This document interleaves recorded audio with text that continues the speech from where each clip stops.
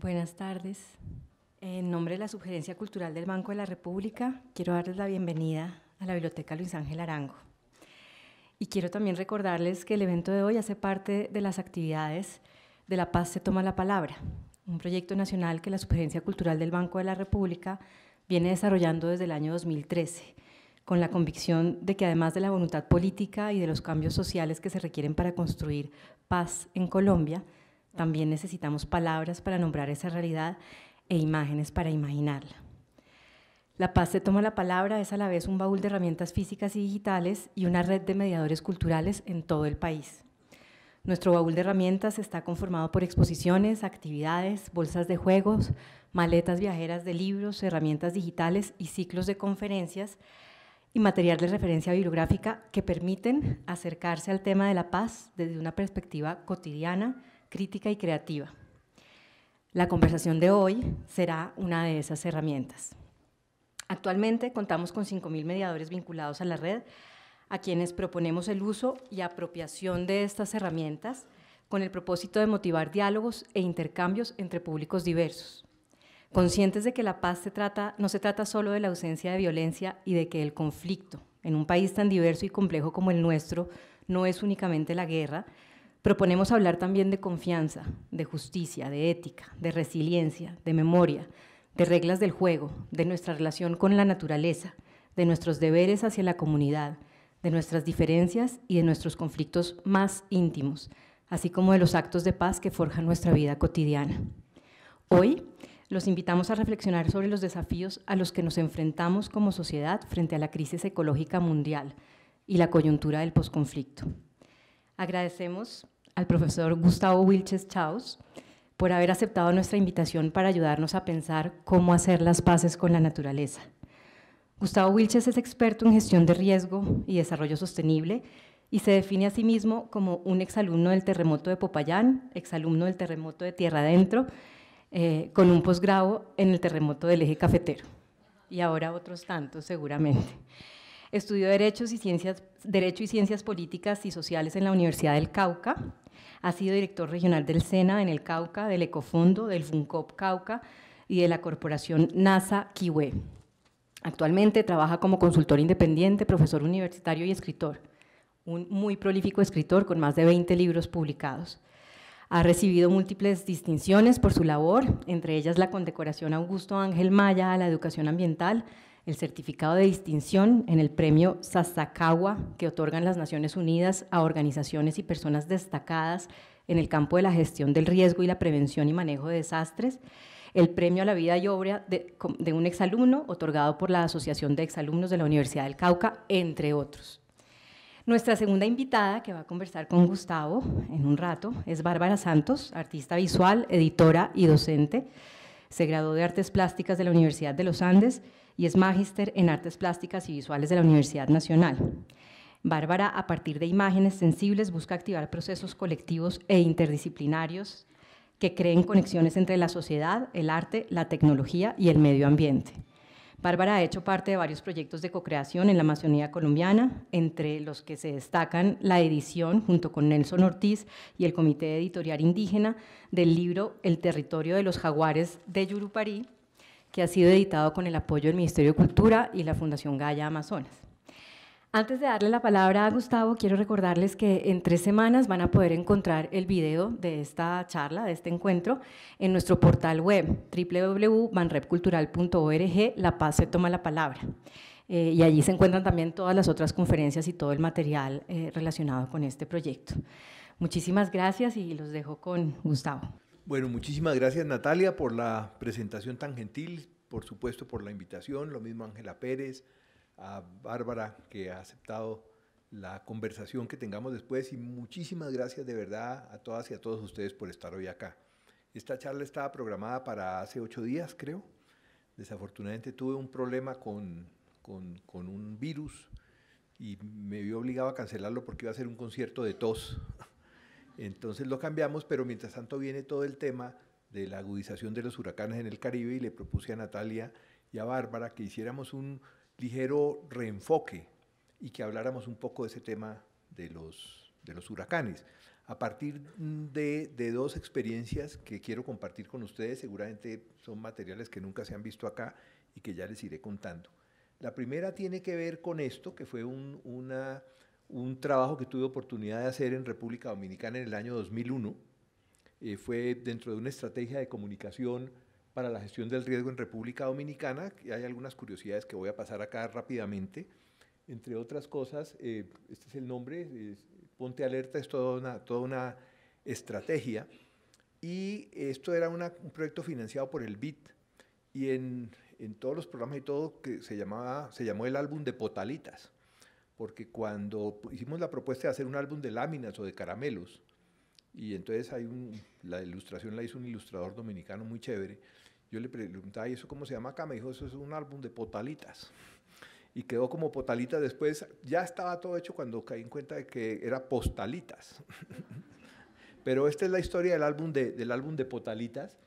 Y eh, bueno, aquí eh, esto lo hicimos con un, eh, un, consorcio, este es Omar Darío Cardona, varias personas, y tiene el álbum, 10 programas de radio y unos, unos spots de televisión para televisión, de los cuales les voy a mostrar nomás dos.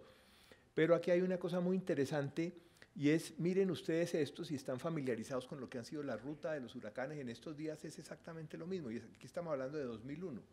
O sea, esta es una zona y acá se muestra, es decir, es qué le pasa a todas estas islas del Caribe, es como si yo pongo el puesto de frutas en medio de una autopista por donde pasan los huracanes, por supuesto, eso ocurre acá, entonces esto es una, digamos, es un, un álbum de láminas en donde se explicaba toda la, por, por qué un huracán se, se convierte en un, en un desastre, pero allá también ocurre, pues, existe la amenaza, la amenaza sísmica, eh, que es común para varias islas del Caribe. De hecho, recuerden los famosos terremotos de Haití. Otro tipo de amenazas de tipo antrópico. Muy interesante el trabajo allá porque allá tiene mucha fuerza tanto la Iglesia Católica como las iglesias cristianas. Y entonces fue interesante en ese proceso de comunicación recoger la opinión de las cabezas de las dos iglesias para vincular a la gente desde la cosmovisión de cada uno. Y, surge una cosa que eh, ahora con Laudato sí aparece también, es decir, no es que, no es que, eh, que es una cosa muy interesante porque todos los que han estado en el campo de la ecotología están frente a ese desafío, cómo, cómo justificamos la nueva visión frente a la naturaleza a la vista de, ese, eh, de esa parte del Génesis donde dice que esto fue creado para, que el, para el servicio del hombre y así en, masculino. Y entonces, desde ese momento se, decía allá es que no, nuestro papel es cuidar la obra de la creación, o sea, la idea era poder presentar esto, pero sin entrar en choque con las cosmovisiones de cada, de cada cual. Bueno, paso acá rápidamente, acá está entonces este que es un concepto que a mí me parece interesante porque todos los días oímos hablar de ordenamiento territorial. Ordenamiento territorial es, por supuesto, hacer las cosas donde se pueden hacer si yo, si yo, si yo tengo el lavaplatos como escritorio, o si yo pongo sobre la mesa de plancha el yunque y el martillo, o si yo aplancho sobre un asiento, pues ahí hay un problema de desordenamiento territorial y es lo que normalmente vemos que sucede todos los días. O sea, aquí trabajando en esto de comunicación aprendí varias, varias cosas. Hubo un, un, un jingle que ahora les muestro y al final venían entonces las, las potalitas y cada uno las iba, cada niño las iba haciendo. Aquí hay una cosa que también es muy significativa y muy triste, es que esto se hizo con la Secretaría Técnica de la Presidencia de la República y apenas, y fue un proceso que fue validado, comenzó a avanzar muchísimo y apenas cambió el gobierno desapareció totalmente. Y después me entero yo en Jamaica que estaban haciendo un programa igualito, pero ese es uno de los grandes problemas que tenemos nosotros y es un interrogante que tengo sobre otra de las cosas que les voy a mostrar ahora y que acá Sofía de Save the Children me está ayudando a averiguar si eso eh, sí siguió o no siguió. Les voy a mostrar el jingle. Si ya viene el huracán, que le vaya bien. La tormenta es fuerte, pero yo también. Mi techo no existe, los muros también. La tormenta existe, pero yo estoy bien. Ponte alerta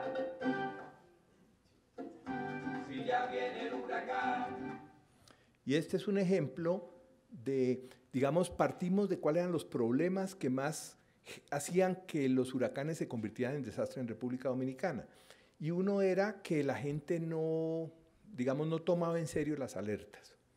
Y se preparaba la gente con, con a jugar dominó, etcétera, esperar el huracán y por supuesto llegaba y entonces hacía...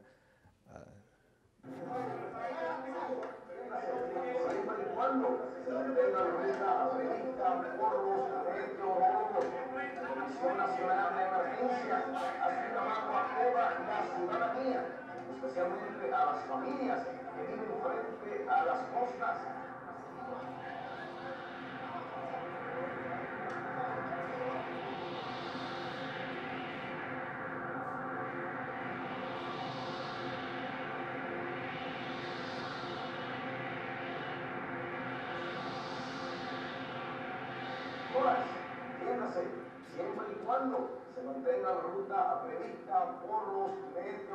por su seguridad y la de su familia, atienda las instrucciones del Centro de Operaciones de Emergencia. No juegue con el huracán. Un mensaje institucional de la Comisión Nacional de Emergencia.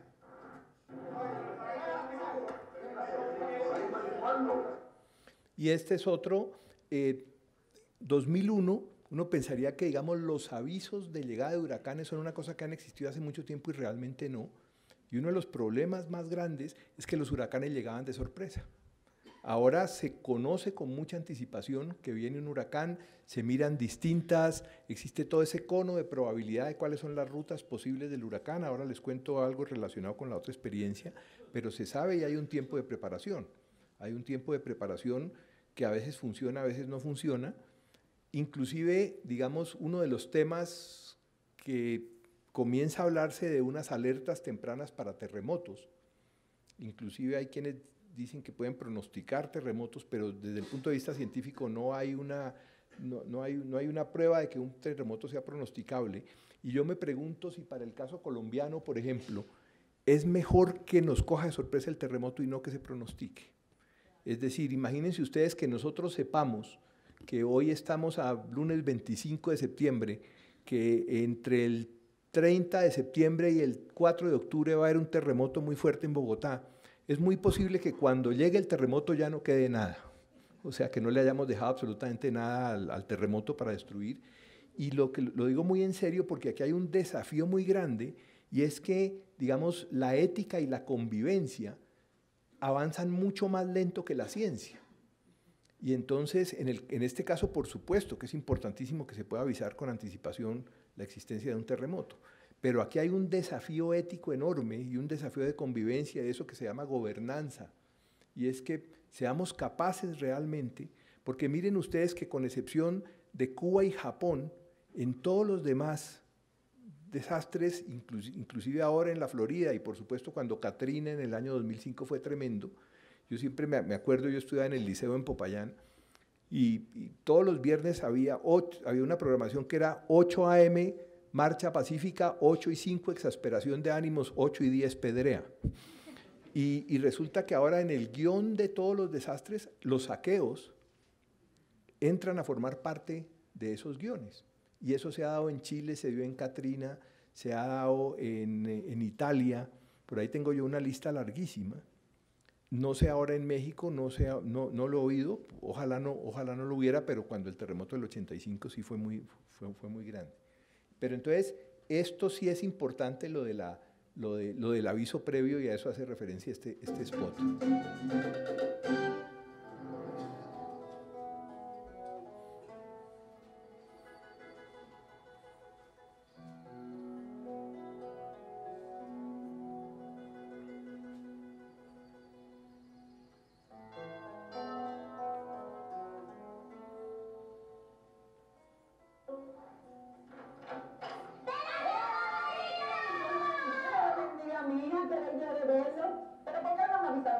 al maratá. Si ya viene el huracán, que le vaya bien, la tormenta es fuerte.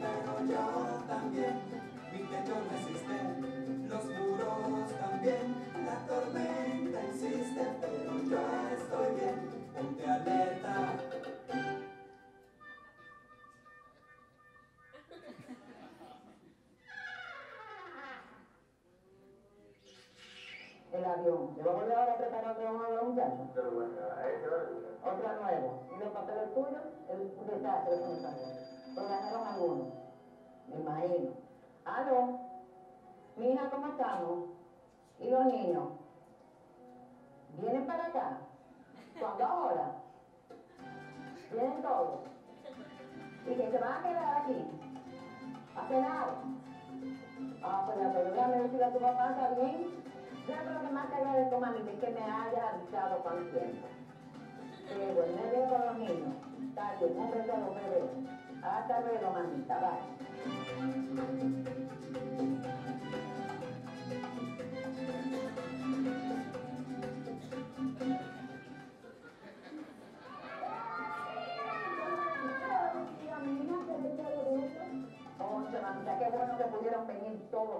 Encanta eso. Sobre todo lo que más me gustó fue que me avisaron con tiempo para estar preparado, sobre todo. Porque así es como...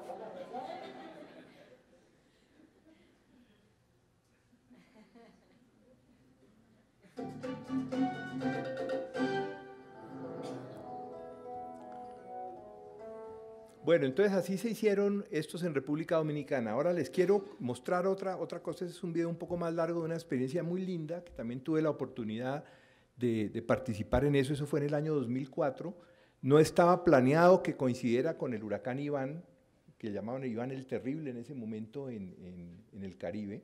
Fue un huracán muy parecido a estos ahora de los llamados huracanes de Cabo Verde, y un huracán que llegó a cubrir totalmente la franja entre, la, entre Cuba y las Antillas mayores y la costa norte suramericana.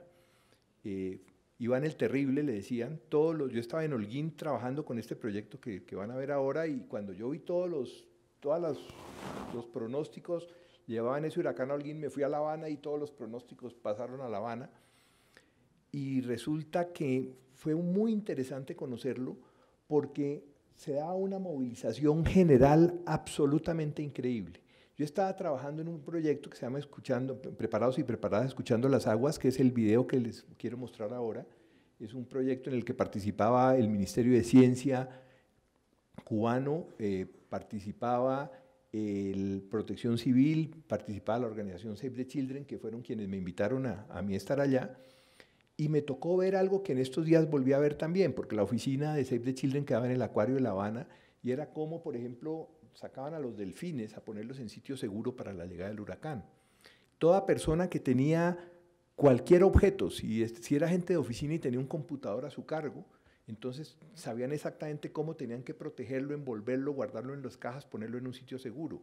Eran unas brigadas impresionantes, por ejemplo, desmontando semáforos, desmontando vallas, desmontando grúas, de cualquier cosa que pudiera generar un daño, porque es una sociedad que no se puede dar el lujo de desperdiciar absolutamente nada, de perder absolutamente nada. Entonces uno se da cuenta cómo la, la escasez genera unas racionalidades que no las tenemos nosotros que vivimos de alguna manera en la abundancia.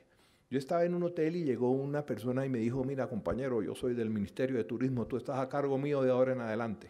Entonces recoge tus cosas que te vamos a cambiar de hotel. Entonces yo recogí mis cosas, me llevó, ¿y a dónde vamos a ir? A un hotel. Y era un hotel de una cadena alemana llena de alemanes. Entonces yo le dije, bueno, y mientras pasa el huracán, ¿yo qué voy a hacer aquí? Me dijo, van a traer un recreacionista alemán. Yo le dije, no, yo prefiero la depresión tropical.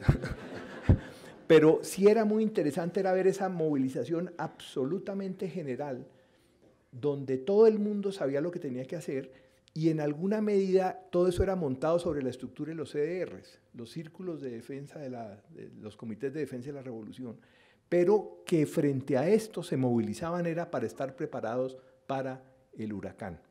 Afortunadamente, el huracán horas antes de llegar a La Habana se fue desviando, se fue desviando, se fue desviando, se fue para Yucatán y, no, no, no llegó a La Habana porque la vulnerabilidad de La Habana es muy grande y en general la vulnerabilidad de las ciudades cubanas es muy grande. Allá clasifican la vulnerabilidad de los edificios en, en alto, algo, eh, ¿cómo es? Mediano riesgo, alto riesgo y estática milagrosa. Y entonces resulta que ahora se vio, pero miren ustedes que ahora que pasa este huracán María por La, por, por la Habana y por, por Cuba en general, en primer lugar, al tocar tierra, lo debilita y lo desvía y en alguna manera protege a la Florida, Pero por otra parte hay un número de 10 muertos, que por supuesto no debería haber, el ideal es que no hubiera ninguno, pero para la magnitud de ese huracán es un número pues bajo frente a lo que podría ser. Este proyecto, y este es un video, dura 20 minutos, pero los invito a que lo vean completo, es un trabajo que yo pienso, y Marta me está ayudando a averiguar con Save the Children si ha seguido o no ha seguido, sigue, es un trabajo en que se vinculan niños de escuelas y colegios a preparar a los alumnos para la llegada del huracán. Y es muy interesante porque en alguna medida, o sea, a uno, lo, a uno lo, le llamaba muchísimo la atención cómo llegaban estos niñitos a una casa, golpeaban, y el respeto con que los adultos salen a oír a los niñitos y a aprender de los niñitos. Y en alguna medida uno entiende porque cuando la revolución los niños salen a alfabetizar a los, a los, a los adultos, especialmente a los adultos en el campo. Entonces se va generando un, es como una cultura donde hay un enorme respeto de los grandes hacia los chiquitos y eso se ve aquí en esta, en esta experiencia. Entonces, es la que van a, mirar ustedes ahora, es una, además como una faceta muy poco conocida, digamos, de la, de la realidad cubana y por eso también quería compartirla con, con ustedes ahora.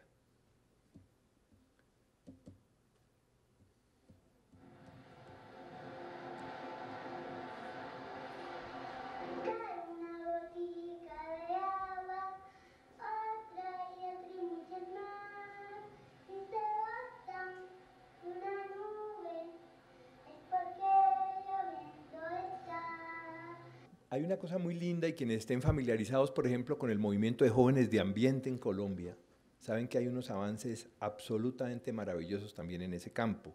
Cuando la precumbre de niños y jóvenes antes de la cumbre climática de hace unos años, se llevó a cabo eso acá en, Bogotá, en el Jardín Botánico, un encuentro de niños, sobre todo niños de escuelas rurales, donde uno ve las maravillas que, están ocurriendo también en Colombia en ese, en ese sentido.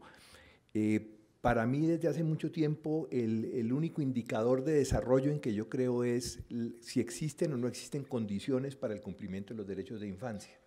Hoy estaba viendo, por ejemplo, oyendo en el radio noticias sobre lo que es el incremento de suicidios infantiles en Cali, por ejemplo. Y eso es en toda Colombia. Hay un, un informe que saca Medicina Legal anualmente y uno de los temas es mostrar cómo se está incrementando el suicidio infantil y el suicidio de viejos. Y, digamos, sobre todo el, suicidio infantil es un indicador de que podemos tener muy alto un Producto Interno Bruto, muchísimas obras de desarrollo, etcétera, etcétera, pero ese es un indicador fundamental. Lo otro es una experiencia que, que, tuve muy interesante. Mi hermana vive hace muchos años en Chile, tiene, es mamá de mi, de mi sobrina. Y Catalina, que es la niña, debía tener unos seis años cuando viene un muy fuerte terremoto en Chile y comienzo yo a tratar de llamar a mi hermana que se llama Leonor, no, la, no, la, no lograba comunicarme con ella, entonces llamo a la casa de ella y me contesta la señora que trabajaba con ella en ese momento y le digo, Leonor, me dijo, no, no he podido comunicarme con ella. Y Catalina me dijo, debe estar bien porque está en el colegio. A mí me pareció que eso es lo absoluta, que eso debería ser una prioridad de cualquier región colombiana y de cualquier región del mundo, pero en Colombia, que si el niño o la niña está en el colegio, tiene que estar bien. O sea que puede pasar cualquier cosa, pero el colegio tiene que garantizar que está muy bien. Miren ustedes algo que ocurrió, esto fue como entre el, en el año 2000-2001, un paro de taxistas que paralizó Bogotá muchísimo tiempo y que generó un enorme colapso, sobre todo de todos los buses escolares de los niños que, que estudian en el norte.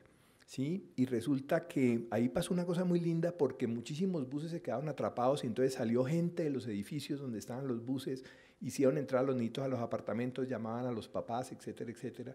Pero se pregunta uno cuál es la capacidad, la autonomía de un colegio, de una escuela, por ejemplo, de garantizarle a papás y a mamás que sus hijos van a estar bien.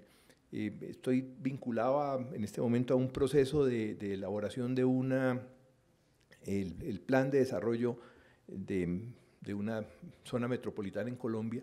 Mi propuesta es tomemos la escuela segura como un objetivo del ordenamiento territorial. Es una zona donde, donde tiembla muchísimo, pues digamos, es el área, el área metropolitana de Bucaramanga. También oía hoy que la mitad de los sismos que ha habido en Colombia en este año se han producido precisamente con epicentro ahí en la Mesa de los Santos. Entonces, debe ser una, mejor dicho, si, si, si un área metropolitana escoge como un, como un propósito que puede derrumbarse el mundo, pero que las escuelas van a aguantar. Ahora, hay otros, hay otros sitios, hay otras instalaciones importantísimas, pero como no hay recurso para todo, por lo menos escoger la escuela, porque me parece que los derechos de infancia son absolutamente fundamentales. Y en esa línea quiero eh, mostrarles para finalizar estos, estos videos una, una, esto, esto fue hecho hace, hace unos años.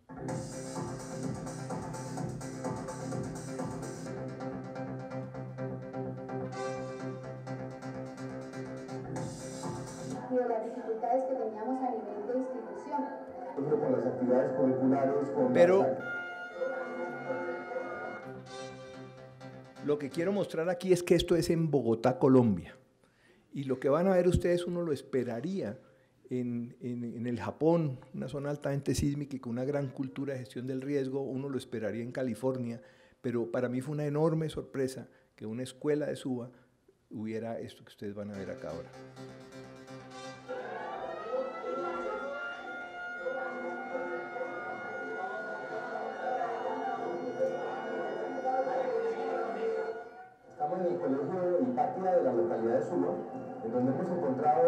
De los programas más completos, más integrales de gestión de riesgo, de prevención de desastre, y nos ha llamado especialmente la atención la manera como se vincula todo el tema con eh, las actividades normales del colegio, con las actividades curriculares, con las actividades de los niños en los recreos. Es decir, realmente eh, es muy satisfactorio encontrar en Colombia un programa que tiene los niveles de desarrollo que podríamos encontrar en cualquier país de los que se considera modelo para la prevención de desastres, como es el Japón, por ejemplo. Participemos activamente en la elaboración de los planes de gestión del riesgo. Si en su barrio, colegio, empresa o familia no se ha tomado esa decisión, conviértase usted en promotor insistente de la gestión del riesgo. Usted puede ayudar a salvar muchas vidas. ¿Cómo lograron vincular colegio al tema de la prevención? Bueno, esto surge primero que todo como exigencia del Ministerio de Educación. eh, luego nosotros, de acuerdo a la problemática que se tiene en Bogotá, y más exactamente en nuestra localidad 11 de Suba, hicimos un diagnóstico de las eh, necesidades que teníamos y de las dificultades que teníamos a nivel de institución. ¿Cuál es ustedes el secreto para lograr lo que han logrado en este colegio? Bueno, yo creo que el secreto es que hacemos las cosas por convicción, más que por ¿Y condición. cómo hicieron para convencer a las directivas y para convencer a los demás profesores y profesoras y sobre todo para que todos los alumnos y alumnas eh, estén apropiados de ese tema como hemos visto? Bueno, en cuanto a los alumnos, lo, hicimos, lo estamos desarrollando a través de la programación curricular en las áreas de ciencias sociales, ciencias naturales, ética y valores y español. ¿Y cómo vinculan esas dos áreas con el tema de la prevención? Bueno, estamos trabajando con los niños en cuanto a la literatura en español, estamos trabajando en lectura de señales, ¿sí? Donde están las señales que indican. Y venimos trabajando también los cuentos. La parte literaria ha sido muy importante como una ayuda pedagógica para ayudar a hacer toda la Por ejemplo, ¿en qué material se apoyan para eso? Pues nos hemos apoyado en las cartillas que nos dio la EPA de Piedra Rosa, nos ha servido mucho. Hemos participado en el concurso que hizo la EPA el año pasado y hay niños que ganaron aquí en colegio.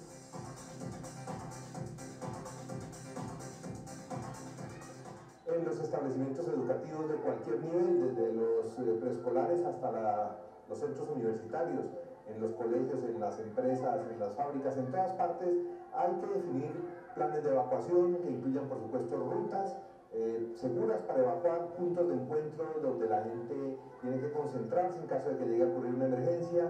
Eh, es importantísimo tener un listado de los teléfonos a donde se puede llamar y tener una serie de precauciones que forman parte del plan escolar de gestión del riesgo y como parte de ese plan del plan escolar de emergencia o de, contingencia. ¿Qué significan los, los pañuelos? Ah, bueno, nosotros, este esta pañoleta es un símbolo, tiene un personaje muy importante que es es nue- Esto, esto surge de un concurso también que hubo acá, este es nuestro personaje que nos representa. Hipatianito, generador de cultura de... O sea, los que tienen el es vinculados. Son monitores. Pero no se lo pusieron para la visita de nosotros hoy, sino que permanentemente. ¿Y esos monitores qué función cumplen? Bueno, nosotros tenemos eh, cuatro brigadas. La brigada de logística, la brigada de contraincendio, la brigada de primeros auxilios y la brigada de evacuación. Hola. ¿De qué son ustedes? Yo creo que tú querías entrar a una brigada de prevención. ¿Por qué tienes ese interés? Porque quiero salvar mi propia vida y la vida de todos los demás. Revisemos la facilidad para acceder al plantel educativo y el estado de pisos, barandas, iluminación de las escaleras, que en caso de emergencia se deben utilizar para evacuar rápidamente. Los botiquines, los equipos de emergencia, los extinguidores de incendios están allí, forman parte ya de la normalidad de este establecimiento, pero lo principal no es solamente que estén allí esos objetos, sino que cada persona sabe manejarlos, sabe cómo utilizarlos. Hay personas encargadas de que estén debidamente eh, cargados esos equipos, de que estén actualizados, de que en cualquier momento pueda eh, utilizarse en caso de necesidad. Es decir, es un entorno en donde la prevención verdaderamente forma parte de la cultura.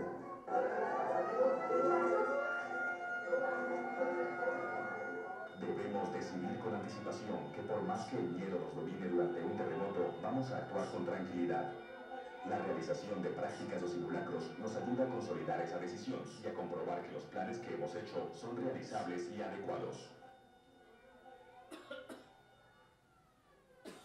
Apenas sonó la alarma, todos los integrantes de esta comunidad escolar sabían exactamente lo que tenían que hacer. El rector, las directivas, el personal docente, eh, dejaron lo que estaban haciendo y vinieron al punto de encuentro. Lo mismo sucedió en las aulas y cada uno de los monitores encargados de la evacuación, pues entonces dirigió el trabajo para que pudiéramos estar todos en este sitio, en el punto de encuentro, un lugar que está libre de cables, libre de árboles, libre de objetos que puedan lastimar a las personas que se encuentran acá. Es donde nos tenemos que mantener cuando ocurre un terremoto. ¿Y aquí dónde es el punto de encuentro? Allá en la cancha grande. ¿Y por qué escogieron ese sitio? Porque es el sitio más seguro. ¿Por qué crees tú que la cancha es el sitio menos peligroso? Porque es la, parte, la parte más grande del colegio, más amplia para que todos, para que todos nos podamos organizar. ¿En qué medida creen ustedes que los niños están llevando a sus casas las inquietudes y están contribuyendo a que mejor preparadas? Bueno, los niños son los mejores multiplicadores de este proyecto, ya que ellos son los que llevan todas las inquietudes eh, y todo lo que aprenden aquí en nuestra institución. Eh, tenemos un mecanismo, un recurso pedagógico que nos parece muy valioso, que es Y Pateamito va a casa, que consiste en un cuento viajero, en el cual los niños lo llevan a casa, recogen todas las experiencias de sus padres y lo comentamos aquí. Si los menores deben permanecer en el colegio hasta que los adultos estemos en condiciones de recogerlos, el plan escolar debe contemplar esa posibilidad y la de estar en condiciones de ofrecerles seguridad. Bueno, yo quería mm, compartir esto y sobre todo mostrar que son cosas que, que tenemos, son valores que tenemos y que no se pueden dejar, no se pueden dejar acabar. Seguramente ha habido muchos progresos desde que se, desde que se hizo esto, pero eso hay que mantenerlo. Fíjense que cuando llegamos acá hubo el, el brigadista y nos muestra cuáles son los sitios de evacuación que hay que hacer, etcétera, etcétera. ¿Cuántos, cuántos lo, lo, lo, lo vimos con atención? A lo mejor pocos, pero creo que son, son elementos de cultura cotidiana importantes. Mi, mi, mi, mamá pasó una parte de su adolescencia en Chile y eso que hoy se llama gestión del riesgo era absolutamente parte de, como de lo normal, de, la, de lo que uno tenía que hacer antes de acostarse.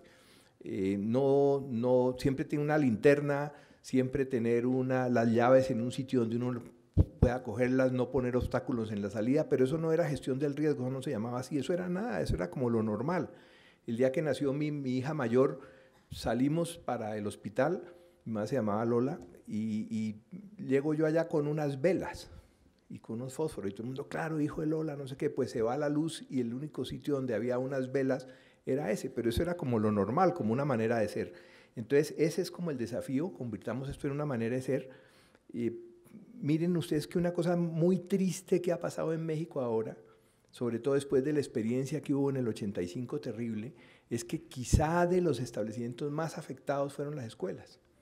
Y hay un caso paradigmático, pues hubo 2.200 y pico de escuelas destruidas, pero un caso donde mueren 300 niños y donde pasan muchísimas cosas. Pues esto muestra definitivamente que, como les decía ahora, si hay escasez de recursos y hay que priorizar, uno es la escuela. La escuela y ese concepto de la escuela segura como una forma de hacer efectivos los derechos de la infancia. Yo paro acá, vamos a hacer la, la conversa con, con Bárbara, yo le, le contaré un poco cuál es la metodología y, y tenemos un rato más para que sigamos hablando de estos temas. Muchísimas gracias.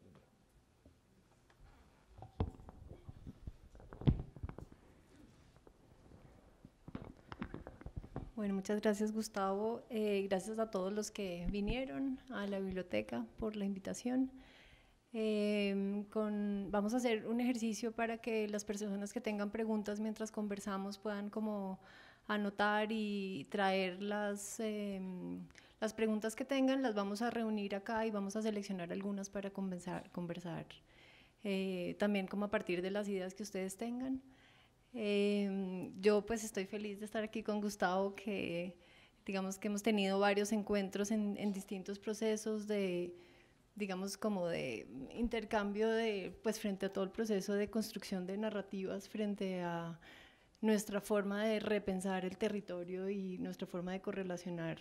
Eh, viendo, digamos, como el, el video de Cuba, eh, sobre todo Gustavo, eh, pareciera que esto requiere como una orquestación, digamos, de temas de gobernanza, temas de, como, digamos que cuando se habla de la escucha del río, implica también reconocer el territorio por su, por su propia voz, ¿no? Como empezar a identificar qué es lo que habla en un territorio, como, y esta orquestación, digamos, qué es lo que hay detrás, habla también de una historia de cada lugar, o sea, no, no es como que, digamos que cómo, digamos, prevenir ante el, ante el riesgo, sino reconocer lo que ya tenemos eh, dentro de nuestros propios territorios, como hay culturas realmente anfibias que han podido, digamos, desde hace muchísimos años eh, habitar este espacio y entender este espacio como un espacio de habitación de equilibrio entre nuestras relaciones culturales y la naturaleza. Entonces, no sé si, si puedas hablar un poco de esta cartografía de lo que sucede detrás de, del video de Cuba, pues aparte de la ética hermosa de los niños trabajando pues con los mayores. No sé, ¿quién tiene Ahí hay una cosa muy interesante y ya la había mencionado yo, y es como de alguna, de alguna manera eso surge también de la escasez. Es decir, eh, es, es, una sociedad donde no sobran los recursos, donde todo es absolutamente valioso. Yo me acuerdo cuando estaba allá, eh, les cuento la oficina, como les conté ahora, la oficina de Save the Children estaba en el, estaba en el acuario y llega, me toca ver un día una señora que llega y pregunta, le pregunta a la secretaria por una persona del acuario. Dice, esta señora vendrá. Se demora, yo creo que se demora como dos horas, pero viene. Bueno, se, queda esperando la que llegue y era porque quería agradecerle que le había regalado una botella de plástico de esas de dos litros. Y le, hace el viaje agradecerle, porque, porque es era un recurso importantísimo. Y yo pensaba cuántas de esas botellas nosotros no las, no las botamos acá. O sea, esa, esa, digamos, eh, esa necesidad de cuidar hasta el último recurso es, implica una serie de desafíos que a nosotros, donde, donde de una u otra manera nos sobran muchas cosas, no somos, no somos constantes de eso. Entonces, un recurso importantísimo que tiene es la organización. La organización en todos los niveles y una organización que comienza desde estos, desde estos pequeños núcleos, digamos, de los niños, el respeto a la voz de los niños, el respeto a, la, a, a los niños como, como maestros de los grandes, y lo que tú decías también, que es otro tema que, entre otras cosas, este año han pasado cosas muy interesantes, es el reconocimiento de estos otros actores del territorio, estos otros seres que nosotros normalmente los tomamos como objetos, como cosas alrededor de las cuales los humanos negociamos. Desde hace muchos años yo vengo hablando de los derechos del agua, por ejemplo, los derechos de los ríos, y esa era una cosa así como de hippies. Y entonces yo soy abogado y en muchos sitios hablaba de esto y colegas abogados decían, pero eso es una estupidez, ¿desde cuándo un río es sujeto de derechos? Si solamente existen derechos en la medida en que los humanos y la sociedad en general conceda o reconozca que alguien es sujeto de derechos. El tema es muy interesante porque fíjense ustedes que durante hasta no hace mucho tiempo la humanidad estuvo regida por una ética etnocéntrica donde solamente una raza tenía derechos tenía derechos sobre todas las demás razas y eso implicaba el derecho a esclavizar, el derecho a, la conquista, tantos horrores que se cometieron. Después, yo diría que, que sí es cierto, aunque a veces uno piensa que es, más, que, todavía eso no ha sido eliminado, pero ya, digamos, se, se superó esa, esa, esa, esa ética etnocéntrica y pasamos a una ética antropocéntrica, donde solamente una especie tiene derechos y es la especie humana. Y entonces la especie humana tiene derechos sobre todos los demás seres vivos. Mencionaba yo ahora eh, cómo eso estaba consagrado desde el Génesis mismo y cómo desde San Agustín en adelante hasta ahora eh, el Papa con Laudato Si, pues tienen el desafío de cómo, cómo hacemos esto compatible con lo, cómo reinterpretamos el Génesis. para mostrar que no, que, que, que, que, nos, que no es que esto fue creado para ponerlo al servicio de la, de la especie humana, de los hombres, sino que tenemos un, papel co-creador, digámoslo así, una responsabilidad. Y es que el gran desafío entonces es cómo hacemos el salto de la ética antropocéntrica a una ética biocéntrica o ecocéntrica donde reconozcamos las interdependencias y los derechos de todos los seres.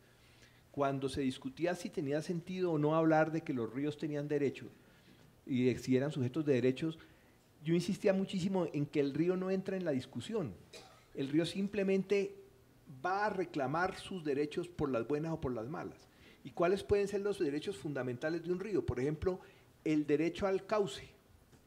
Cojan ustedes lo que pasa en Mocoa hace poco, lo que pasa antes en Salgar, Antioquia.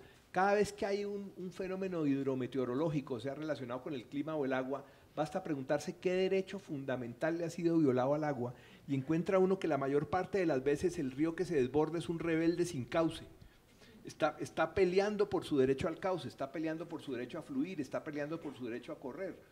Entonces ahí viene todo un, todo un elemento, digamos, toda, toda una nueva visión que curiosamente en este año tres cortes constitucionales del planeta reconocen que los ríos tienen derechos, desde otra óptica. El, una, en Nueva Zelanda el primero, la, una corte en la India que reconoce que hay dos ríos, el el, Ganges y otro que tienen derechos, y por último la Corte Constitucional Colombiana que reconoce que el atrato es sujeto de derechos. Pero como te digo, más allá, digamos, de la discusión jurídica está el hecho de que el, el agua no entra en la discusión, sino que el agua va a reclamar por las buenas o por las malas sus derechos. La biodiversidad reclama sus derechos, la ladera reclama sus derechos y entonces ahí viene todo un desafío de cómo aprendemos a negociar. Y esto era un poco como el núcleo de la, de la charla que no hicimos, pero están invitados para cuando la reprogramemos. ¿Cómo, hablamos con otros seres vivos?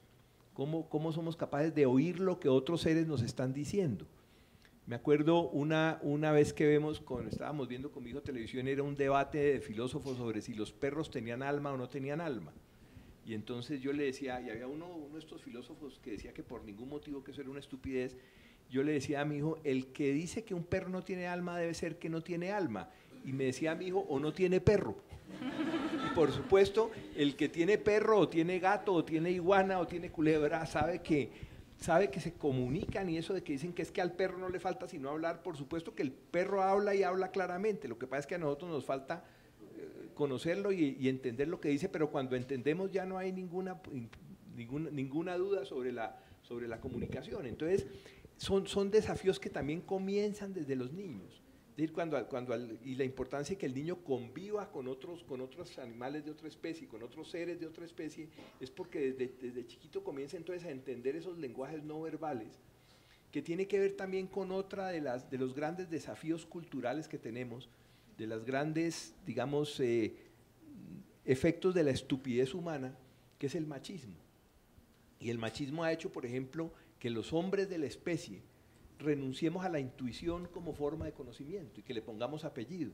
Y que cada vez que hablamos de intuición hablamos de intuición femenina, porque, porque cogemos para nosotros que somos lo oficial, cogemos la razón como forma de conocimiento y esa otra cosa secundaria, no oficial, ese embeleco de la intuición, dejémoselo a las mujeres. Y resulta que es una, una forma de conocimiento que necesariamente tenemos que recuperar como, como, un, como un patrimonio, digamos, de toda la especie. O sea, estamos frente a un momento fascinante de reeducación, en donde la posibilidad de que nuestra especie siga en este planeta depende de que seamos capaces de transformarnos. Oímos decir con frecuencia que hay que salvar el planeta y resulta que el planeta se está salvando solo sin ningún problema. Eso que llamamos cambio climático es, es, es, es la etiqueta que le ponemos a todos los, todas la, digamos, las manifestaciones de, todos los ajustes que está haciendo ese ser vivo que es, que es la Tierra en sus sistemas para tratar de deshacerse de una plaga que lo está afectando. Y lamentablemente esa plaga somos nosotros, pero al mismo tiempo esta especie es maravillosa. Por citar solamente un ejemplo de, que a mí me maravilla, hace, yo vivía todavía, eh, estaba todavía en Popayán, cuando acuérdense un avión que venía de, creo que de Panamá, se estrella llegando a Cali, se muere todo el mundo, se salva solamente un pasajero. Y, entonces el programa de radio de las 6 de la mañana era porque la salvación de pasajeros se consideraba un milagro. Decían, si usted es testigo de algún milagro que tenga que ver con aviación, llame y cuente. Yo estuve llamando y llamando, al fin me contestaron. Entonces, sí, para participar en el programa. Si usted es testigo de algún milagro que tenga que ver con aviación, sí, a ver, cuéntelo. Entonces dije, yo vivo en Popayán, salí la semana pasada a Cali a las, a las 4 de la tarde, llegué a Cali a las 6 de la tarde, a las 7 de la noche tomé un avión a Bogotá, salimos de Cali, despegamos, atravesamos el Valle del Magdalena, atravesamos la Cordillera Central, perdón, el Valle del Cauca, atravesamos la Cordillera Central, atravesamos el Valle del Magdalena, llegamos a la Cordillera Oriental y a las 8 y media de la noche aterrizamos en Bogotá. ¿Y cuál es el milagro? Y yo dije, ¿les parece poco?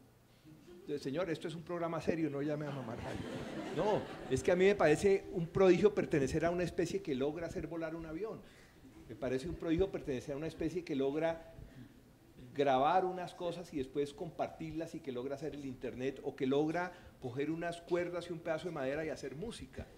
O sea, esta especie es un prodigio, pero al mismo tiempo nos hemos convertido en la peor de las plagas que han existido a lo largo de la historia. Entonces, aquí no es un formalismo nomás, pero entonces tomamos el otro tema que quedó aplazado para la próxima, es que la paz no podemos hacerla solamente entre humanos, sino que la paz hay que hacerla también con la naturaleza, con los ecosistemas, y no nos olvidemos de que mañana se cumplen exactamente un año del día que se firmaron los acuerdos de paz en La Habana.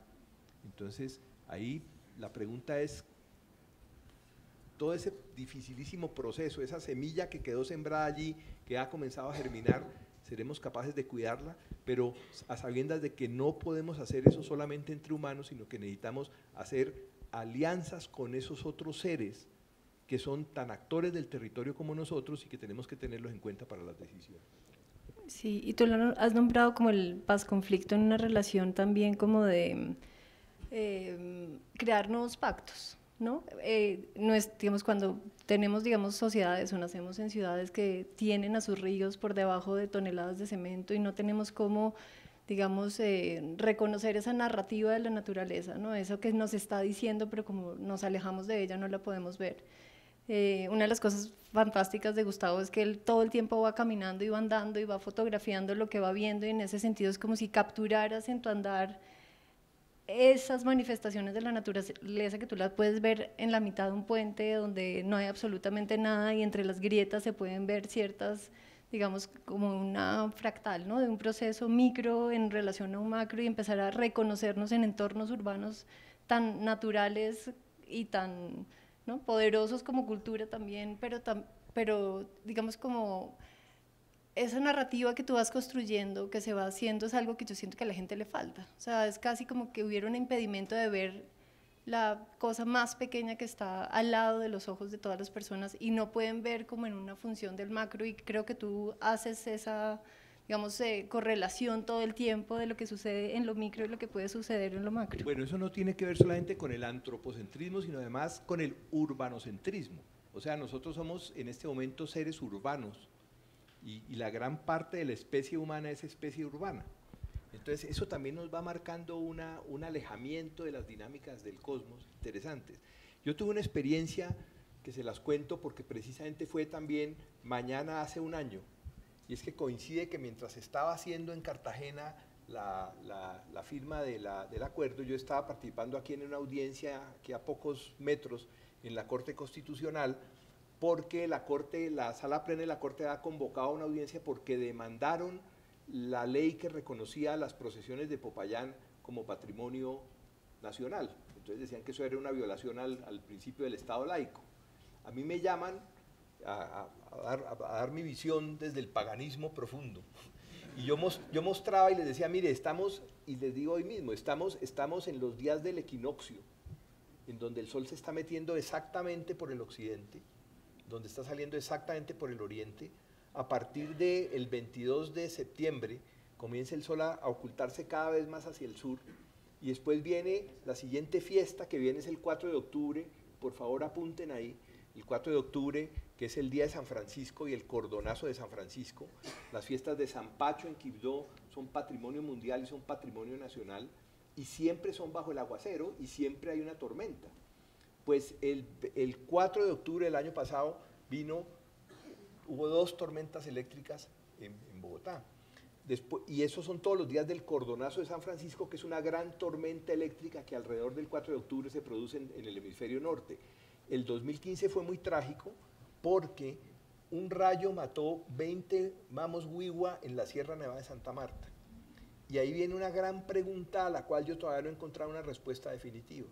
Es cómo, cómo es que 20 mamos los mata en una cancuro, en una casa sagrada, un rayo, cuando el primer, la primera obligación del manual de funciones del MAMO es hacer una lectura del territorio y saber y hacer un ordenamiento del territorio a través de lo sagrado. Entonces, el MAMO debería saber, sobre todo 20 mamos, que ese sitio se lo habían pedido los rayos para ellos y que ahí no se podía construir una casa sagrada. Una hipótesis es que Huigua quiere decir gente de tierra caliente, es la comunidad de la sierra que ha sufrido más desplazamientos y posiblemente no llevan tiempo suficiente en la sierra como para hacer una lectura de las dinámicas del territorio. Otra posibilidad es que hay nuevas dinámicas como consecuencia del cambio climático y entonces los, los mamos también tienen que actualizar el software.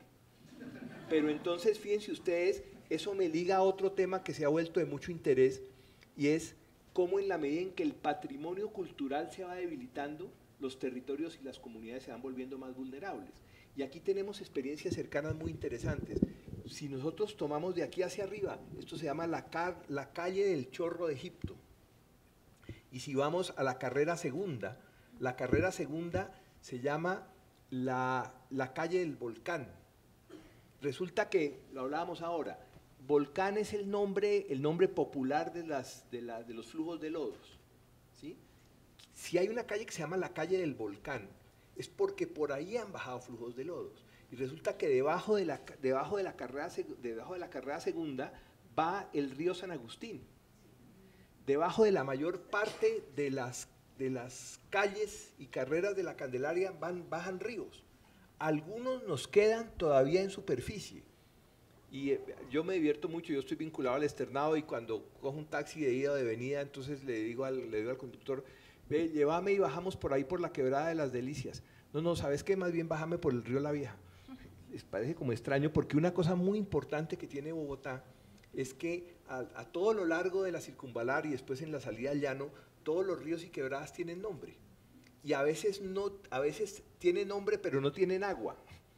Pero el hecho de que tengan nombre es importantísimo porque mientras tengan nombre tienen identidad. Entonces hay que insistirle mucho cuando hablan del caño de la sexta. No, ese no es el caño de la sexta, ese es el río Comuneros. Es que no es el caño de la 30, ese es el río Salitre. Es decir, reconocerle personalidad a estos seres, porque entre otras cosas, esto está lleno de señales. ¿Por qué las aguas se llaman las aguas? Porque precisamente toda esta cantidad enorme de aguas que vienen de los cerros orientales venían a concentrarse allí. Ahora no las vemos porque todo está pavimentado. Pero cada vez que hay oportunidad, el agua va y recupera sus terrenos. Hay, hay, hay muchas fotos, ustedes las habrán visto, del, del, lago, del lago Gaitán, por ejemplo. Y el lago Gaitán se llama el lago porque era un lago. Y entonces uno, en esas fotos está toda la gente ahí alrededor del lago y todo. Yo digo, estarán vendiendo software para abacos, porque hoy están vendiendo programas y software en, en, toda esa zona. Pero cada vez que llueve eso se inunda. ¿Y se inunda por qué? Pues porque era un lago. Entonces ahí hay un desafío muy grande y eso también tiene que ser otro tema que queda pendiente para poderlo ilustrar con fotos, aunque aquí tengo algunas, y es cómo el gran desafío que tiene Bogotá de recuperar una cultura o de construir una cultura anfibia versión siglo XXI para una ciudad como de, de este número de habitantes. Y ahí hay una cosa muy interesante que nos liga con México. Ustedes saben que cuando llegan los españoles a México, llegan y encuentran un territorio muy parecido al que encuentran Jiménez de Quesada y Belalcázar cuando llegan acá. Y es un territorio donde las comunidades viven en el agua, son comunidades anfibias. ¿Qué se conmemora el 6 de agosto de cada año aquí? No se conmemora eh, la fundación de Bogotá, se conmemora la fundación del primer barrio de invasión a los cerros orientales. Pero aquí ya había una comunidad enorme, una comunidad anfibia, y es cuando entran en contradicción los españoles con los indígenas, porque primero se asientan en lo que hoy es Bosa, en medio de esa cultura anfibia, entran en contradicción y entonces se suben a la, a la, Candelaria y allí en algún sitio los historiadores de Bogotá discuten si sí es donde está el chorro de Quevedo o no, pero se comienza a cambiar totalmente la lógica del territorio y es lo mismo que sucede en Tenochtitlán, donde los españoles cambian totalmente la lógica anfibia del territorio. Este terremoto de México de ahora, el, grande que afectó a Ciudad de México, no tuvo el epicentro que sí tuvo el del 7 de septiembre, que fue en la costa pacífica, en la costa pacífica mexicana, el de Oaxaca, como el terremoto de septiembre 19 de 1985 lo tuvo en el mar a una distancia de Ciudad de México igual a la que queda a la distancia que hay entre Bogotá y la costa pacífica colombiana. Pero viene una onda, encuentra un lago rellenado que hace el efecto de un amplificador, de un bafle.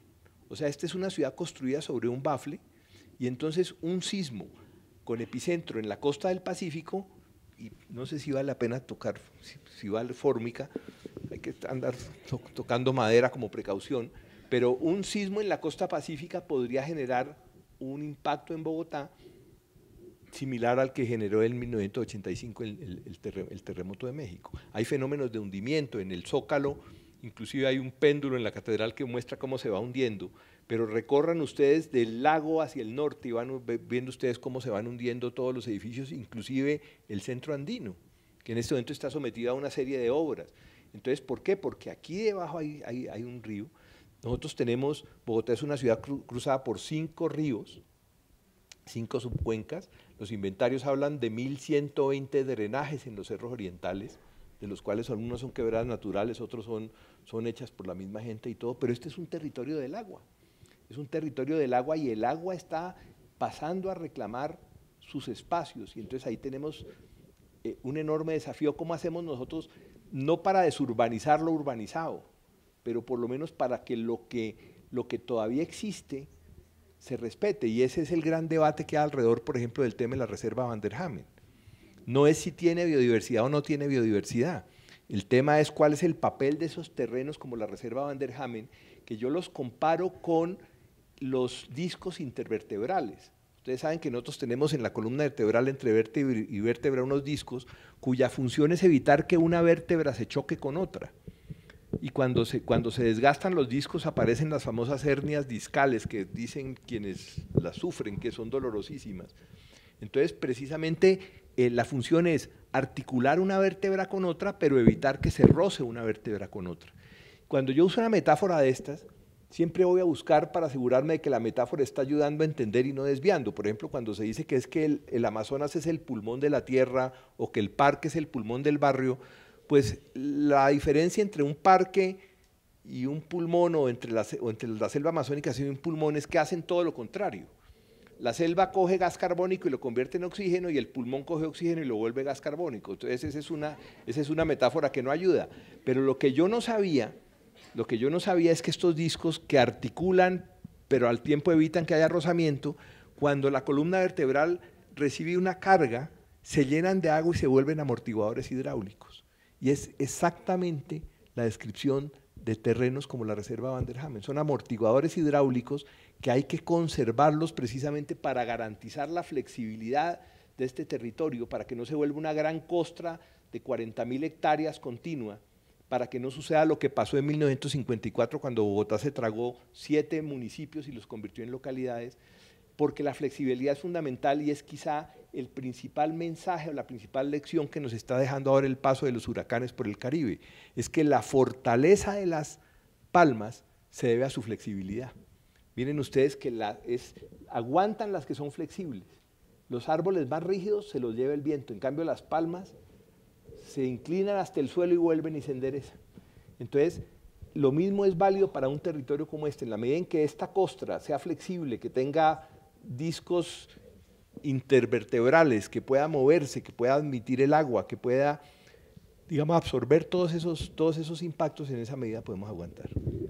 Sí, digamos, en esta, pensando en el plan de ordenamiento territorial y, el, y la Van der Hamen y lo que estábamos hablando eh, antes de que empezara la charla, eh, es también ver este territorio en una relación al tiempo. ¿no? Hay momentos donde las aves migratorias llegan a la ciudad y ellos requieren ciertas autopistas también para ingresar a los humedales, a las lagunas, y en qué medida todo el plan de ordenamiento requiere entender ese movimiento también de la naturaleza en sí misma, ¿no? Si, pasa una carretera por la Vanderhamen que pueda ayudar, digamos, a que haya un, un flujo de, de automóviles, se está poniendo una fuente de luz que atraviesa, digamos, esa autopista de llegada de todos los patos que podrían estar entrando a los humedales. Y en, y es, y en eso que hablas como de las grietas y, de la flexibilidad, pensar nuestro territorio implica también reconocer aquellas cosas que podemos desenchufar y desconectar, ¿no? Y podemos es apagar la luz y podemos es... Eh, como reconocer nuestra urbanidad en relación a la necesidad que, como tú hablabas ahorita, pues lo que implica poder ver las estrellas o no dentro de la ciudad, o desconectarnos de aquellas cosas que parecen eh, muy útiles, pero realmente son innecesarias. Una vez en un evento en el planetario estaban haciendo una lista de aves en la reserva Vanderhamen, y una de las especies de aves se llama tapaculo y alguien decía, claro, vamos a detener el desarrollo de Bogotá por salvar el tapaculo. Yo le decía, si, si desaparece el tapaculo, tapes el suyo porque quiere decir que hemos avanzado, que hemos avanzado un, camino, hemos avanzado una posición en la vía de la extinción. Cada vez que desaparece una especie, yo como especie humana siento primero una enorme vergüenza, pero segundo un enorme miedo. Es decir, la existencia de otras especies, la existencia de aves, la existencia de insectos, la existencia de abejas, son indicadores de que el planeta es habitable para los humanos. Y cada vez que desaparece una especie, quiere decir que los humanos avanzamos un camino, un paso adelante hacia la extinción, hacia el deterioro de la calidad de vida. Entonces son, son cosas muy importantes que hay que irlas teniendo en cuenta. Y siquiera tomaste este otro tema también para dejar otro, otro, otro tema chuleado para la próxima, que es el de la contaminación lumínica. Eh, hay una asociación en Estados Unidos que se llama Dark Sky Association, Asociación del Cielo Oscuro, que se dedica a la protección del paisaje nocturno. Eso no le importaba, mejor dicho, a muy poca gente le importa si se pueden ver o no se ven las estrellas. Pero yo creo que le ha llegado su momento, allá calculan, y yo creo que la proporción no es muy lejana en ciudades como Bogotá, que más o menos el 13% del consumo de energía de una ciudad es alumbrado público y que el 35% de ese 13% es contaminación lumínica. O sea, es luz, plata, emisiones de gases de efecto invernadero que se, que se hacen contaminando el cielo, pero no alumbrando el suelo. Entonces, si se logra reducir ese 35%, quiere decir que recuperamos el derecho a ver las estrellas. Y yo, yo en Twitter periódicamente aviso, eh, salgan que en el techo del cielo está Saturno y está el escorpión y tal cosa alcanzan a ver a Júpiter. Y la, y la gente va y claro, y mandan fotos y miran. O sea, todavía hay sitios de Bogotá donde se puede ver el cielo. Pero eso es parte, digamos, de esa identidad, parte de ese sentido de pertenencia, parte de esa vinculación con el cosmos que nos permite ser conscientes, digamos, de, los, de, los, de, los, de, las fases lunares, de por dónde sale el sol, de por dónde se mete. Son cosas bien importantes porque nos hacen sentir que no somos una especie aislada de todos los movimientos del cosmos, sino que formamos parte del mismo mecanismo de relojería.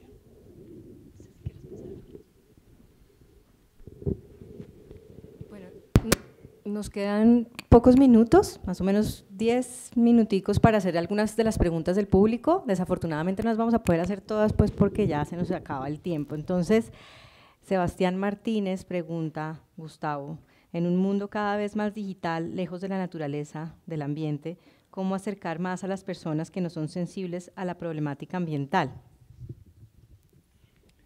Ese es todo un tema y estamos hablando ahora con Bárbara cómo paradójicamente el mundo digital nos está ayudando a entender muchas cosas del mundo natural que no habíamos entendido, por ejemplo, de qué depende el vuelo de las, de las bandadas de aves o la manera de nadar los cardúmenes, nos está comunicando globalmente que es muy importante, pero al mismo tiempo nos está haciendo perder el contacto con la realidad permanente, nos está haciendo perder el, el, el ahí, hay un desafío muy grande. Yo tengo, yo tengo un nieto que es absolutamente digital, pero al mismo tiempo tiene la fortuna de vivir en un sitio donde hay, en, Miami precisamente, donde hay mapaches y donde hay ardillas, y entonces como que conviven esos dos mundos.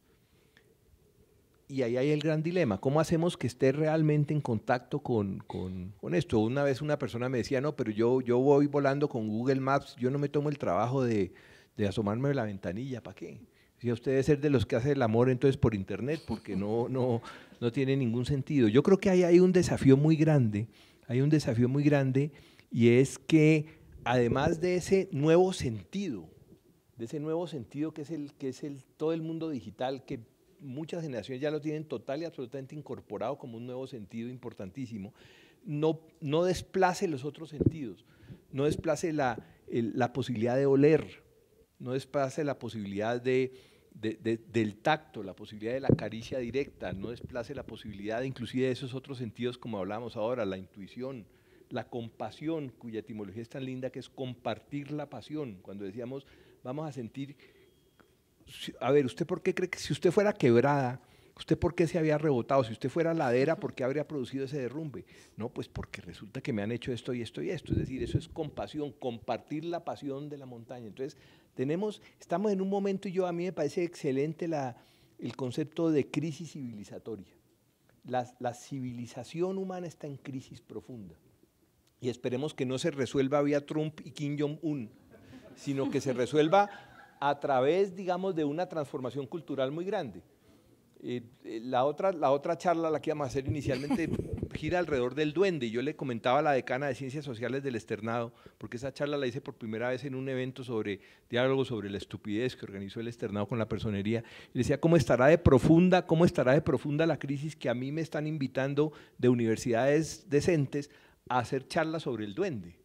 Pero yo creo que, yo creo que la, efectivamente la crisis es la que permite comenzar a, explorar esas otras dimensiones que han sido tan arriesgadas y que la academia se nos quedó en Mochilao, Santiago, una charla, pero también la haremos en algún momento, sobre, sobre toda esta necesidad, por ejemplo, de que, la, de que la ciencia recupere el lenguaje poético y de que se entienda que en, el, que en la poesía y en el lenguaje hay conocimiento científico y que para que un texto sea científicamente serie, serio, no tiene necesariamente que tener como requisito ser ilegible.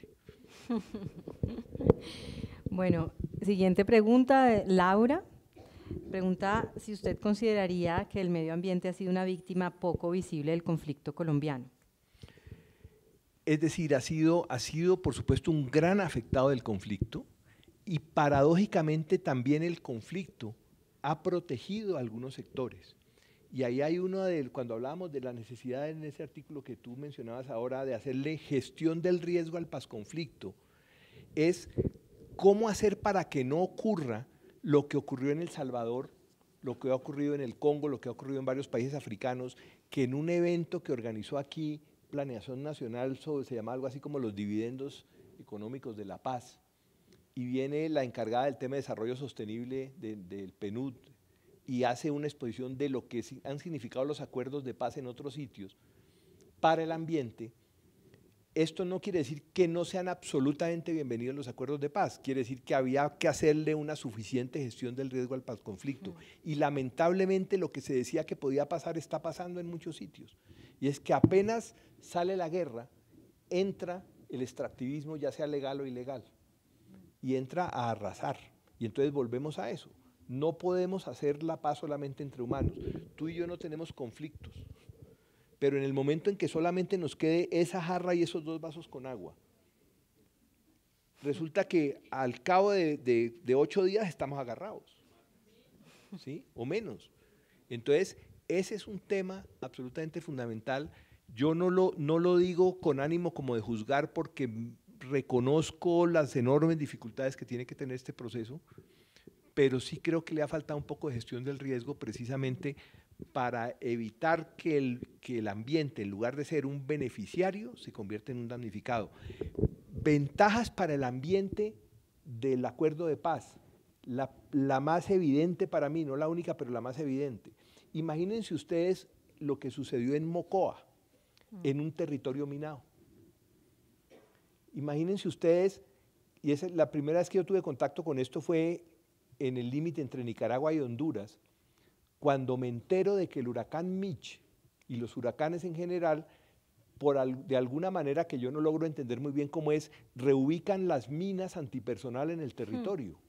Y entonces en ese vocabulario un poco eufemístico de las minas, se habla de territorios libres y territorios contaminados. Entonces territorios contaminados son los que tienen minas y viene un huracán y las redistribuye y territorios que antes eran libres de minas aparecen con minas y no estallan.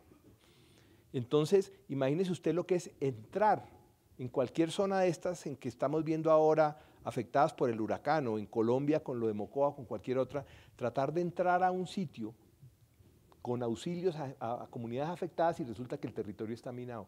Entonces, el, el, los acuerdos para el desminado humanitario, por ejemplo, son un maravilloso ejemplo de la manera como, como, como los acuerdos de paz ayudan al ambiente. Después viene ya todo el tema de, los, de la posibilidad de la reducción de los cultivos de uso ilícito, de la deforestación, pero lamentablemente lo que estamos viendo todos los días son más ejemplos de cómo donde, donde están saliendo la guerra está entrando la, deforestación y la destrucción ambiental. Y hablando de Mocoa, tenemos también una pregunta sobre Mocoa por parte de Aubin. Dice que hace un mes estuvo en Mocoa para ayudar a las poblaciones y les habló de sus derechos fundamentales y los derechos y deberes en gestión del riesgo. La mayor parte de los damnificados no conocían sus derechos. ¿Cómo se hace para involucrar a la gente para que sea el propio protagonista de un mejor manejo de las cuestiones relacionadas a las catástrofes naturales? una sugerencia al principio, quitémosle el apellido natural a las catástrofes, porque cuando hablamos de desastres o de catástrofes naturales le estamos echando la culpa a la naturaleza del desastre. Y, eso lo estamos viendo hoy todos los días, cómo se habla del huracán o del terremoto como un desastre natural, o sea, se confunde el fenómeno natural con el desastre, cuando el fenómeno natural realmente es el que desencadena, es el aguacero y la gotera. el aguacero es una bendición, pero si nuestro techo tiene goteras, esa bendición se convierte en una amenaza. Lo, que veíamos ahí del, huracán, es decir, y, el jingle este, la tormenta insiste, pero yo estoy bien. Si mi casa está bien construida, si mi casa no está atravesada en, la ruta, en la autopista de los huracanes, el huracán cumple una función muy importante en redistribuir energía. Hace muchos años yo estaba comenzando este tema y le preguntaba a un japonés si no era posible, digamos, eh, bombardear los, huracanes en su nacimiento. Me decía, cuando no hay huracanes, las pérdidas por la alteración del ciclo hidrológico pueden ser muchísimo más costosas que las pérdidas por el huracán. Entonces, el problema no es tanto el fenómeno natural, sino la incapacidad del territorio. Y esa incapacidad, esa vulnerabilidad normalmente es construida, es, hecha por, por los seres humanos. Entonces, repítame la primera parte de la pregunta. Que estuvo, estuvo en ah, Mocoa ayudando a la gente y que las personas no conocían. Lo de Mocoa. Entonces, fíjate, fíjate una cosa, y ese es un tema, y yo voy a, ir, a, ir a Mocoa dentro de poco, un poco a contar cómo fue la experiencia de la reconstrucción del cañón del río Páez con comunidades indígenas. El, el tema de los derechos de comunidades afectadas o susceptibles de ser afectadas por desastres. Ese es otro tema en el que yo vengo trabajando, que inclusive he lo he utilizado un poco como indicador de avance de un proceso de, reconstrucción. La primera vez fue cuando aquí la reubicación de San Cayetano. Y entonces yo me acuerdo que la persona que dirigió ese proceso, Carolina Pungilupi, la, dirigió desde la gobernación de Cundinamarca y era hiperautocrítica. Yo le decía, no, Carolina, no, no, no, es que la cosa no es fácil, porque me decía, no, esto no ha sido democrático. Yo le decía, el tema no es si ha sido democrático, sino si se han generado espacios de aprendizaje para que tanto las comunidades como las instituciones públicas y sus funcionarios aprendan qué significa ser, participativo. Pero yo sí creo que es fundamental, y volviendo al tema de los derechos de infancia, por ejemplo, el derecho de los niños a que la naturaleza sea consultada en las decisiones que se toman. ¿Por qué un derecho fundamental de los niños? Porque si la naturaleza no es consultada por las buenas, tarde o temprano se rebota y pasa la cuenta y probablemente son los que hoy son niños los que van a tener que pagar esa cuenta que dejamos los adultos que tomamos las decisiones sin pagar. Entonces, ese es un tema fundamental. Creo que es un tema absolutamente importante el de los derechos, el reconocimiento de los derechos. Volvemos al tema de las mamás. Cuando una mamá que nunca ha oído hablar de gestión del riesgo va a dejar a su niño o a su niña al bus, se da cuenta de que el bus, llega el bus del colegio y casi no puede frenar y tiene que parar contra el andén y cuando le va a reclamar al chofer ve que tiene los ojos colorados y un tufo tremendo. Esa mamá que nunca en su vida ha oído hablar de gestión del riesgo, no solamente no deja subir a su hijo al bus, sino que baja a los que están allá en el bus, llama a todas las mamás y arma el lío. Entonces, esa óptica de derechos es absolutamente fundamental y hay que conectarla precisamente las comunidades indígenas del de Putumayo y particularmente alrededor de Mocoa están precisamente alegando su derecho a ser consultadas, su derecho a que la reconstrucción se haga teniendo en cuenta su, su concepción del mundo. Y, y hay una, una experiencia que, que, es interesante, pero que dibuja un poco, y con esto yo creo que ya nos toca terminar, y es que yo estuve haciendo un trabajo en La Guajira, en un proceso que fue llamado por, por Cerrejón, porque habían cambiado de, de, dueños la, la, mina y encontraron un lío tremendo con una comunidad que había sido desplazada por la minería y querían entender qué era lo que había pasado y por qué si a la gente le habían indemnizado con sumas aparentemente muy grandes, estaban otra vez en la cola de los afectados. Hicimos un taller y, y la pregunta era entender qué, qué, era lo que la gente había perdido. Y entonces la pregunta era, ¿qué fue lo más duro de perder el pueblo? Era un pueblito de 14 hectáreas. Decía un señor, la pensadera. La pensadera. Yo antes vivía tranquilo y ahora es una pensadera permanente. Otro decía, otro decía, eh, yo me despertaba sin nada con qué desayunar y pasaba donde un vecino por un vaso de leche y volvía con medio balde. O pasaba por un plátano y volvía con un racimo.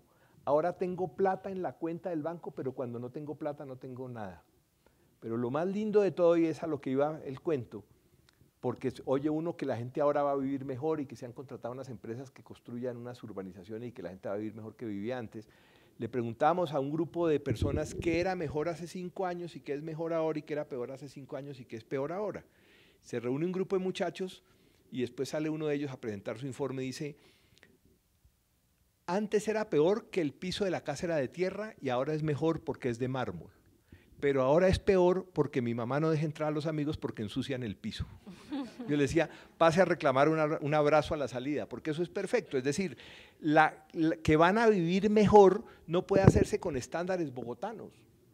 No podemos pensar que van a vivir mejor porque ahora la casa donde, donde van a vivir se parece más a nuestro apartamento en Bogotá.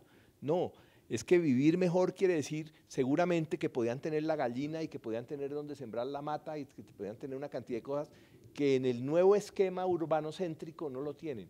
Ese es un derecho a la identidad, un derecho absolutamente fundamental. Muchas gracias, bueno, Gustavo y Bárbara. Mil gracias.